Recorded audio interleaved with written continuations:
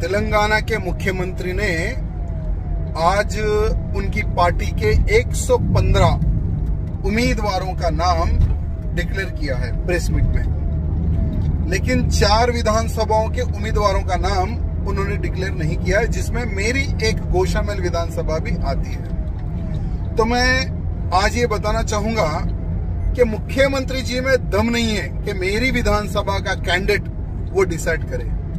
क्योंकि 2018 में M office, जो दारू सलाम है, जो कार्यालय एम का, वहीं से 2018 में उम्मीदवार डिसाइड हुआ था।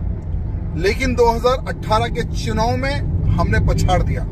यानी दूसरी बार भी विधायक जनता के आशीर्वाद से जीत हासिल मैंने की है। इस बार भी मेरी विधानसभा से उन्होंने कैंडिडेट डिक्लेयर नहीं किया, क्योंकि नेक्स्ट जो चुनाव है दो आ, मैं समझता हूँ दिसंबर में चुनाव है उम्मीदवार मुख्यमंत्री नहीं असदुद्दीन ओवैसी दारू सलाम जो एमआईएम का जो कार्यालय वहाँ से वो कैंडिडेट डिसाइड होगा।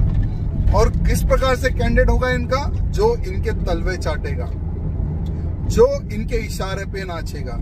जैसे आप लोगों ने कई बार देखा होगा सुना होगा भले ही ये बीआरएस यानी टीआरएस से बीआरएस होगी ना भले ही बीआरएस की सरकार या बीआरएस का उम्मीदवार होगा, इसकी स्टेरिंग हमारे हाथ में होगी।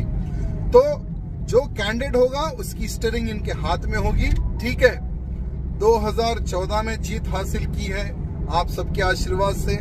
2018 में भी हमारी जीत हुई है।